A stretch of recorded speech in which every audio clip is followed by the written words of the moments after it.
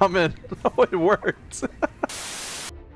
in other fire-related news, the VFX team has also been creating the test bed for a voxel-based fire system, seen here in a very early, simple implementation designed for prototyping.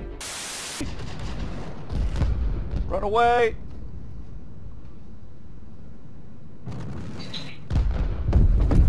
Oh! Oh my god! We also have a look at the inside of the current part white box, part gray box progress of the upcoming cargo decks, currently scheduled to come online later this year.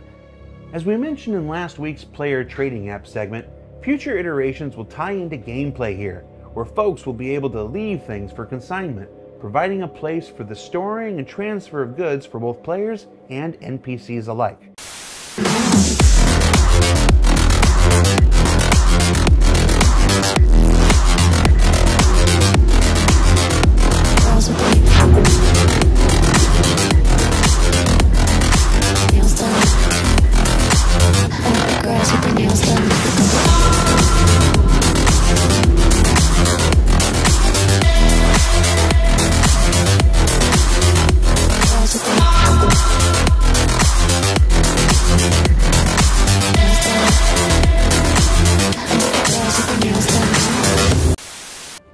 This quarter, we've been following along with the early development of our upcoming refinery decks, and we're here now with another look at current white box, gray box look dev.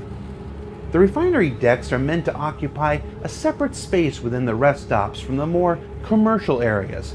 These are where players come to handle their more industrial needs, from refining mined materials to picking up mining related missions or even buying new mining equipment. One of the larger elements of these locations are the blazing heat generated from the open smelting facilities and blazing slag being poured into vats.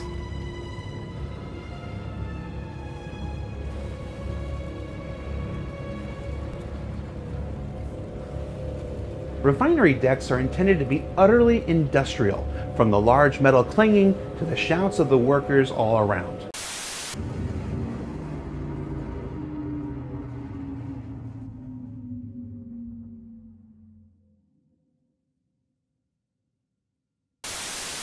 Creating creatures in a game, there are many different approaches you could take at the beginning. You could start off doing something simple, for example, like fireflies or little rodents or things that are, you know, fairly simple from an AI perspective. That could be one approach. In the past, we created a void in, in that same kind of vein. Later on, we started exploring things like space, the space cows and the space whales. And while those are still going to happen, we have, are now focused on something that hopefully players and developers alike get a little more excited about, and that would be predator creatures.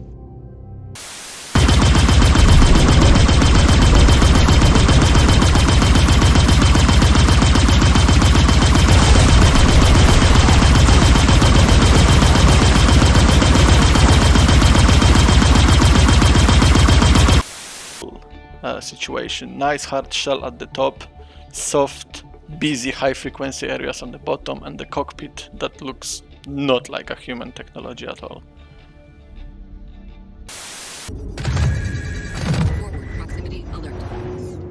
So she's uh, kind of a queen of a, of a hive, and will have some sort of baby ones that all have some bioluminescence. And one way you might encounter this is the large queen can actually hunker down and sort of uh, disguise herself as a, a, group of rocks where you might end up walking right up on one and not even know it's there until it actually reveals itself. The second one we wanted to focus on is a creature that you would find on the planet Microtech. Uh, Microtech being a terraformed world, uh, has an appearance more like Earth, where you see pine trees and things like this. So we took a much different approach to the way we designed that creature this creature we're determining is more a result of maybe some genetic manipulation of, of different uh, DNA from Earth creatures. So there are some more familiar elements to this animal.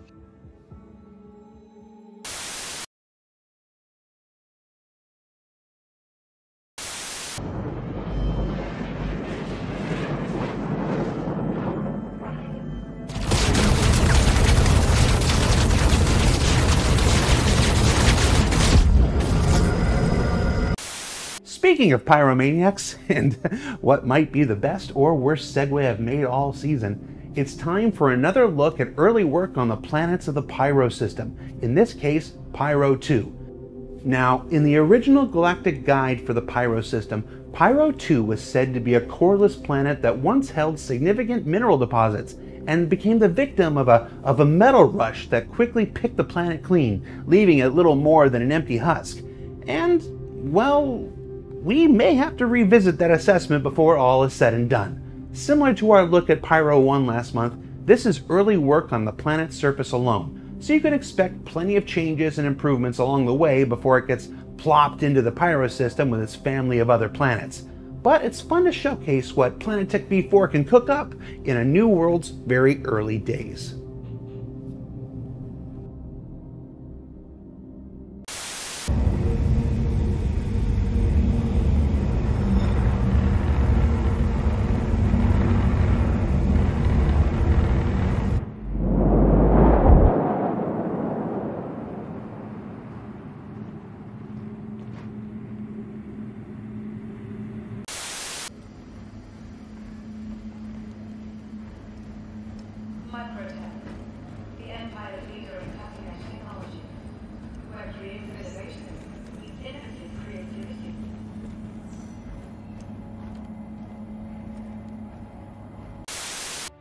AI improvements like cover usage, shotgun assault tactics, and a better sense of when to move and hold position all aim to make FPS engagements with non-player characters more dynamic and interesting than ever before.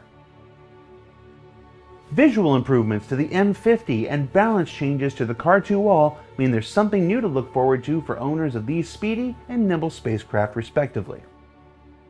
Grimhex is getting a new shop, new hangars, and a new viewing area to support the future release of Scramble races. Not to be left out, New Babbage is getting hangars and perhaps a more impressive new shop of their own with the upcoming factory line and its new array of mobiGlas variants players can purchase. Then, the various planets and moons all throughout the Stanton system are seeing the return of outposts, derelicts, and caves that were lost after the conversion to Planetech V4, but now with improved lighting, exterior dressing, and protection from the weather elements outside.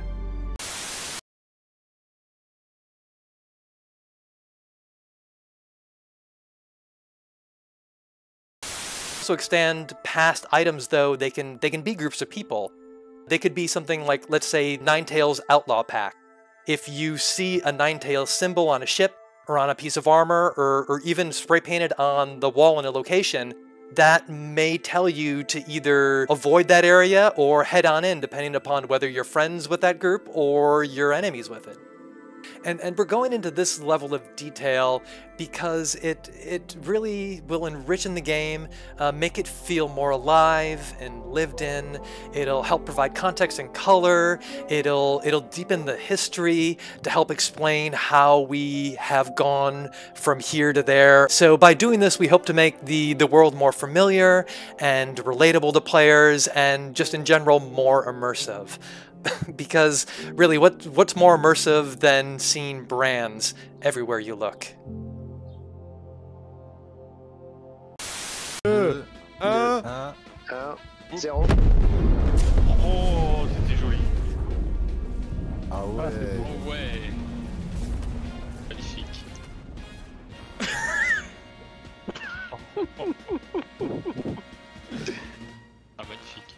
magnifique. Ça fait planter Ah, ça mon valait le coup de stream. passer un stream. Members from the Environment Art team are continuing their work adapting the gas cloud tech originally developed for Squadron 42 to be used in the persistent universe, like this test for the spacescaping of service stations that sit along Lagrange points throughout the Stanton system.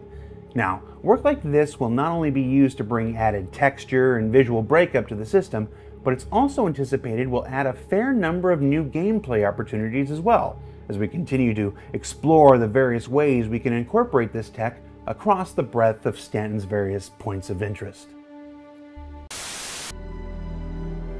Finally, before we let you go, some very early updates for one of Star Citizen's original five spacecraft, including work on the constellation Taurus's expanded cargo bay, and early prototyping of an automated docking process for the Merlin and Archimedes into the constellation's custom docking port. It's early days yet, but the promise of being able to launch Parasite craft from the constellation just got one step closer.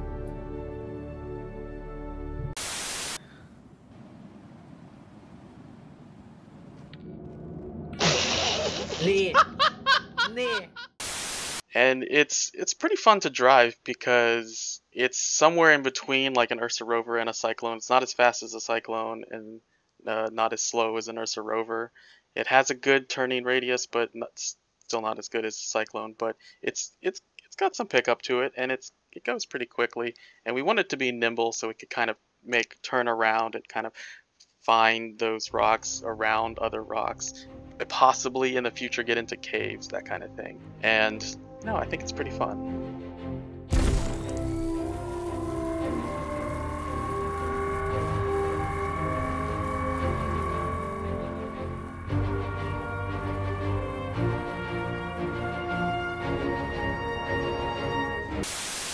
Now, from Crusader the Gas Giant, you've also got Orison, our last major landing zone from St- for Stanton, and unlike any other landing zone, it, no walls.